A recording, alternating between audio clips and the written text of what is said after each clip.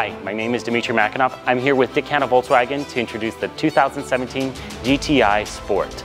The aggressive styling includes a honeycomb grille, sharp lines, as well as this red badge and line that extends into the headlights, indicating that this GTI includes the performance package. The performance package is an engine tune that takes the 2.0 liter engine and puts it up to 220 horsepower with 158 pound-feet of torque.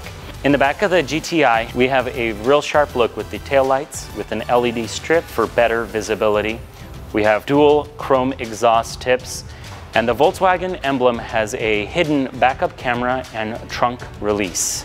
There are lots of different configurations in the back that gives you plenty of trunk space. If you'd like, we have a level loading surface.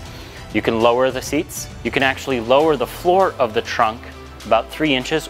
The car does come with a privacy shield or you can hide the privacy shield under the trunk floor. The GTI Sport has VAQ slip differential, which means you can corner real, real tight. This car also has 18 inch alloy wheels with front and rear disc brakes. They're larger and painted red calipers. And up front you'll notice the GTI badging.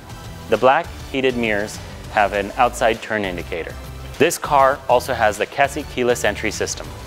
Inside we have the heated seats with the tartan cloth that just hug you when you go into the corners real hard. This is a push button start vehicle with drive mode selection. We have the leather wrapped shifter as well as leather wrapped steering wheel that features the paddle shifters as well as the cruise commands, Bluetooth and dash commands all at your fingertips. The 6.5 inch composition media radio features Android Auto and Apple CarPlay, as well as CD, USB, auxiliary, and Bluetooth media inputs. It also features the Volkswagen CarNet safety system. It's not enough to look at the car, but you have to take it out for a spin. Come to Dick Hannah Volkswagen today.